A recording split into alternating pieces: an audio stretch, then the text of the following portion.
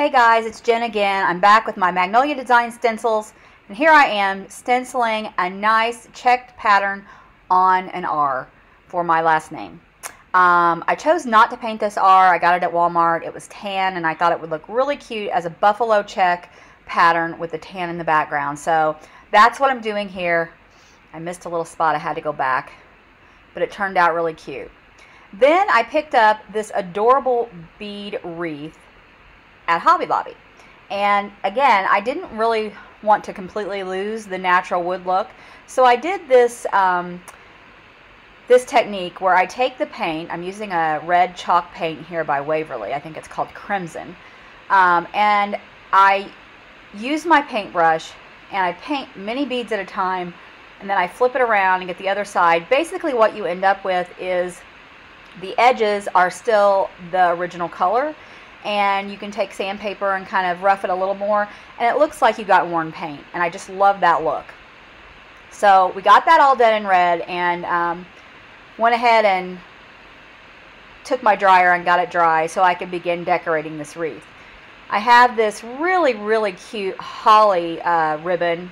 It's a burlap and it does have wired edges and I just um, hot glued it at the top around the beads brought it down and gave enough length so it would hang down below the bottom of the beads. Then I cut it off and I dovetailed the end.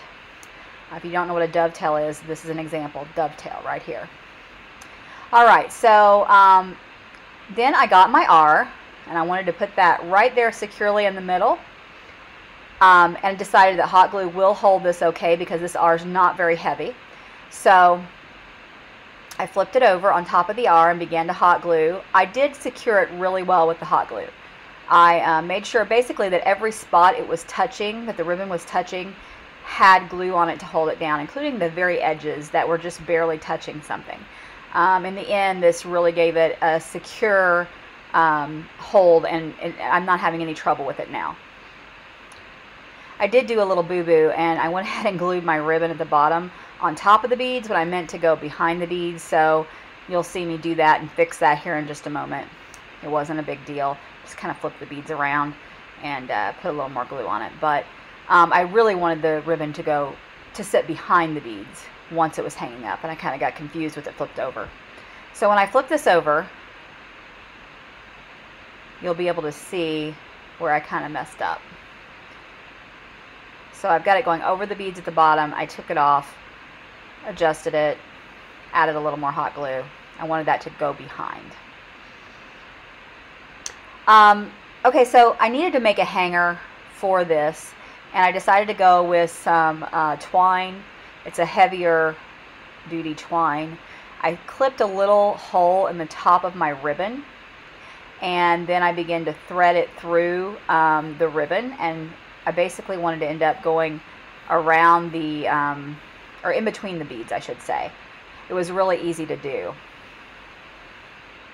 Finally, I decided I'd take a little bit of raffia in the natural color, make a pretty um, poofy bow for the bottom uh, right underneath the R.